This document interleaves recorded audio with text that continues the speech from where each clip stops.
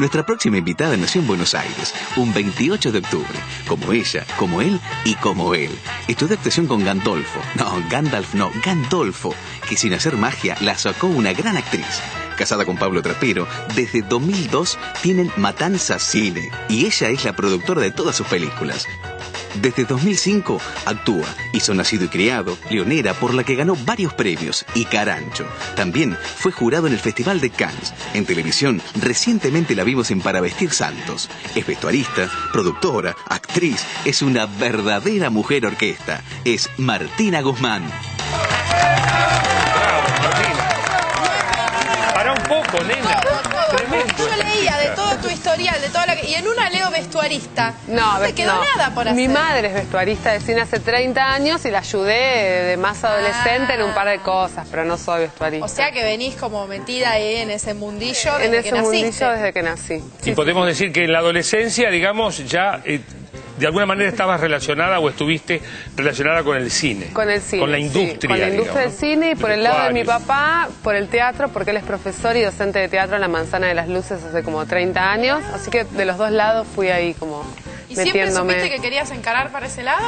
La verdad que desde chiquita decía que iba a ser actriz, me formé desde los siete años, pero después empecé a trabajar en producción y ahí dejé un poco relegada la actuación, dije en realidad quiero ser productora y después más desde el lado de productora me empecé a acercar otra vez a la actuación. ¿Cuándo se dio ese el, el- el pase, digamos, de la producción a decir, bueno, no, me Y- mando o, o te convencieron, no lo sé? y, y un poco me convencieron, sí, un poco fue en función de- del vínculo con Pablo, nos conocimos trabajando en producción, armamos nuestra productora, nuestra casa, nuestro hijo, nuestra Ah. empresa y familiar, y él que había visto algunas cosas mías en actuación en teatro, me empezó como a insistir, bueno, dale, hagamos algo juntos, y yo estaba como medio entre mamá, Ahora se entiende todo más claramente. decía, sí, pero hagamos algo, hagamos algo, hiciste Leonera. a- No, no, no, primero hicimos Nacido y Criado, Ah. que fue como una cosa chiquita, a ver cómo nos sentíamos, porque aparte una cosa era productora, director y otra directora, actriz, es como Claro. vínculos Sí, distintos. La.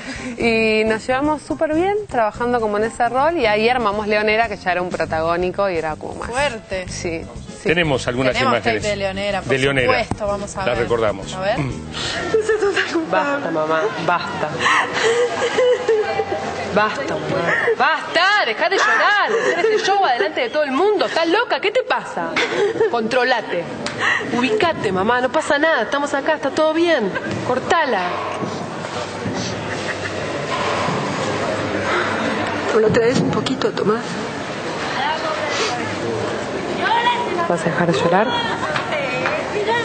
Sí, ya. ¿Ya está? ¿Te vas a controlar? Marta.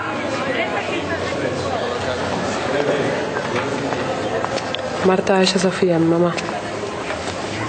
Hola, Marta. Lo quiero ver a Tomás, dáselo un poquito. Está dormido. No importa, dejáselo. No lo despiertes.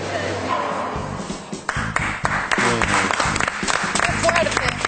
Leía también en, en una nota que esto de ser productora te, te colabora en la parte de la actriz también porque tenés como mucho tiempo para prepararte para los personajes. Porque Sí. llega ya la idea. ¿Te metiste en las cárceles? Un a- montón, sí. Estuve casi 10 meses visitando penales, entrevistándome con mujeres y un poco la, la construcción del personaje de Julia son un poquito cada una de estas historias que, que fui escuchando en los penales. Y como, como actriz soy muy productora, me gusta como armarme los personajes, construir esa investigación. Es la parte que más disfruto, toda la investigación previa. Sí, hiciste lo mismo con Carancho Con también. Carancha también, estuve haciendo unas guardias en un hospital en, en González Catán, tuve seis meses haciendo guardias y también hay algo de ese acercamiento como de, de- de poner el cuerpo más allá de lo intelectual que está buenísimo. De, de Carancho puedo decir que salí como, no sé, como medio choqueado del cine. Entonces contás toda esta investigación previa y estar en contacto real, no cinematográfico. Yo vi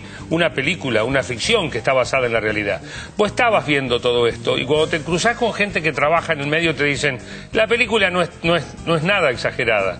¿Cómo se transita eso, no? Ese, ese mundo heavy de alguna manera. Y la verdad que fue fuerte. O sea, para mí, yo antes de la experiencia de Carancho veía a alguien que se desmayaba, le ba- se me desmayaba en la calle y me bajaba la presión. Era como muy impresionable, digamos. Ah, y te metiste a hacer las guardias, bárbaro. Me metí a hacer las guardias y al principio estaba nada, a 20 metros mirando, así no me querían ni acercar y de a poquito empecé, me pusieron como una especie de ayudante del jefe de guardia del hospital, por lo tanto ellos están muy acostumbrados a trabajar con practicantes, entonces todo el tiempo van haciendo y van diciendo, bueno, Explicando. ahora y te explican, pasame tal cosa, pasame tal otra y fue como empezar a a vivir como en la piel de ese cansancio que tienen en las guardias, esa forma, esa dinámica, que es muy distinto cuando te lo cuentan que cuando lo sentís, que cuando puedes Sí, estar ni ahí y, hablar. y vivirlo. Tenemos también imágenes de Carancho para ver, por favor. ¿Qué pasó? Por favor, ahora no, después te explico todo. Sálvalo, ayúdame. Después te cuento todo, te lo juro. Toma, ponete esto. ¿Qué hago? Ponételo.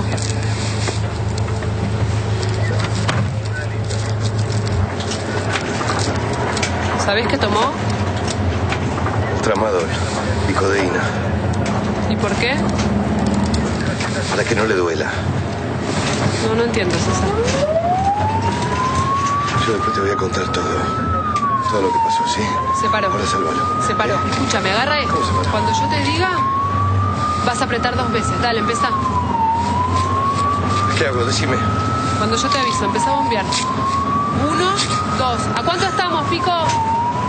6, 7 minutos, por Bueno, llamá y avisa que se paró. Sí. Móvil 28 a base.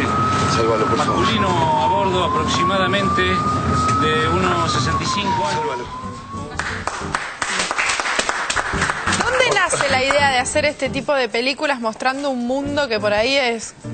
va, yo no había escuchado nunca, ni, ni había visto el mundo de las cárceles de mujeres, el mundo de, de estos abogados raros de... Y es un poco el cine que, que le interesa hacer a Pablo, este, este cine, digamos, con algún tipo de conexión social que puede provocar algún tipo de reflexión, digamos. No, no el cine de denuncia, porque a mí el cine de denuncia es como algo que pasa que las denuncias se hacen en los juzgados, pero Claro. me parece que el cine que puede provocar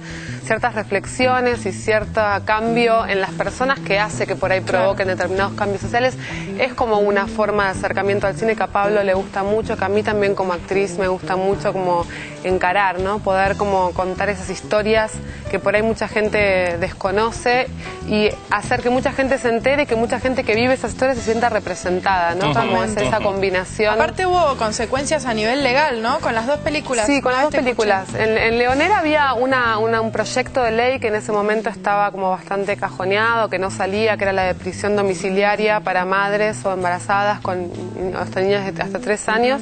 Y un poco todo el movimiento de la película sirvió para, para movilizar y que esta ley se haga efectiva y al día de hoy corre esa ley.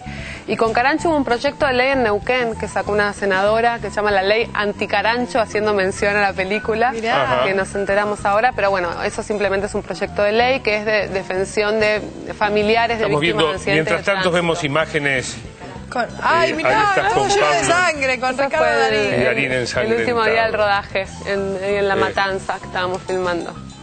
Qué bárbaro. Eso fue en Cannes. Y Canes. llevan bastante bien la vida trabajando juntos, por lo que se ve. Porque continúan. No sé cómo no- hacen. Nos conocimos trabajando, o sea, en realidad Claro. no, no sé cómo es no trabajar juntos, Claro. como que nos conocimos trabajando, después le vinimos en, en pareja.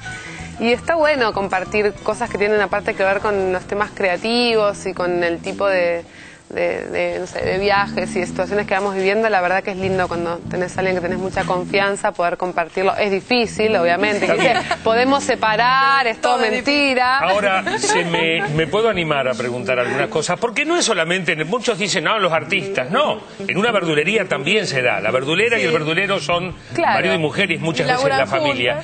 Y trabajar todo el día y después ir a casa y seguir, ¿no? Y que no se mezcle. Claro. ¿Debe requerir de alguna técnica especial o es natural, sale así y un día se agarran a los combos? Se mezcla digo? todo. Un día le traes los fideos y le decís, toma los fideos, a la escena, no Me sé hiciste qué. grabar esa escena. ¿te escena, sí. No, la verdad que se mezcla todo. Igual los dos somos muy apasionados por lo que hacemos y cuando te gusta lo que haces también compartir es algo, no estamos hablando de presupuesto el domingo a la mañana, pero por ahí sí de una escena, de una situación, de una película, de algo como es parte de ese proceso creativo. Y pasa que alguno de los dos en algún momento dice, paremos un poco eh, y, y- y miremos el paisaje, por ejemplo. Claro, ¿Eh? un ¿Sucede? poquito, un poquito. Igual se mezcla. Miremos el paisaje, qué lindo. ¿Viste la luz? Porque estuve pensando para cada escena que esta luz. Ah, estaría bueno. sí, Y vamos a hablar del paisaje. Arranca proyecto nuevo, arranca Claro. todo, no paran, no Exacto, paran. y es un poco, es un poco así. sí. ¿Y ahora están con La Vida Nueva? Ahora estamos ¿Estrenaron? con La Vida Nueva, estrenamos hace poquito,